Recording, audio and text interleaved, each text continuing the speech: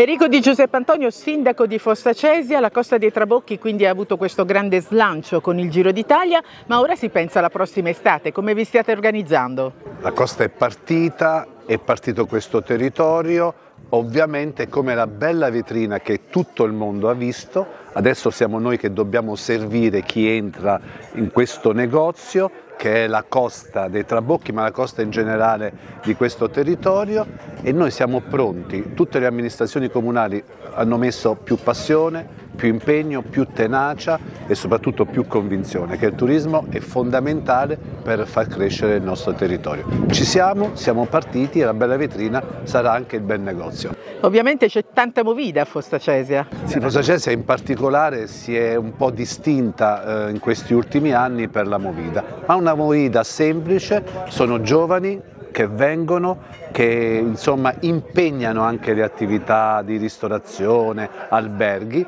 e quindi anche la Movida fa parte della nostra offerta e promozione turistica. Fabio Caravaggio, sindaco di Rocca San Giovanni, quindi dopo questo boom per la Costa dei Trabocchi si pensa all'estate?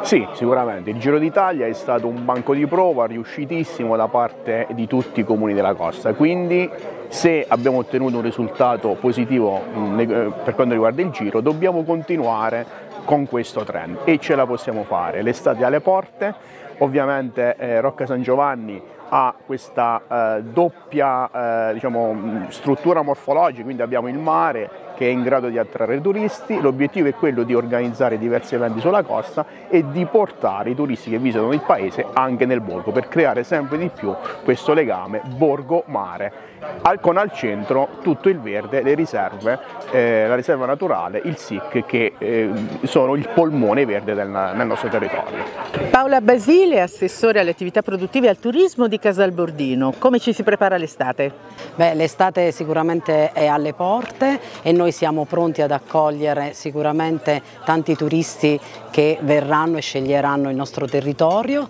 è un territorio sicuramente ricco di tante peculiarità sia enogastronomiche e, mh, che si estende poi a livello culturale. E quindi noi siamo pronti a braccia aperte ad aspettare questi turisti e secondo le, ehm, le strutture recettive abbiamo sicuramente avuto anche tanti consensi e questo sicuramente ci dà lustro e ci dà uno slancio in più per far sì che la, nostre, il nostro territorio venga proprio conosciuto a 360 gradi.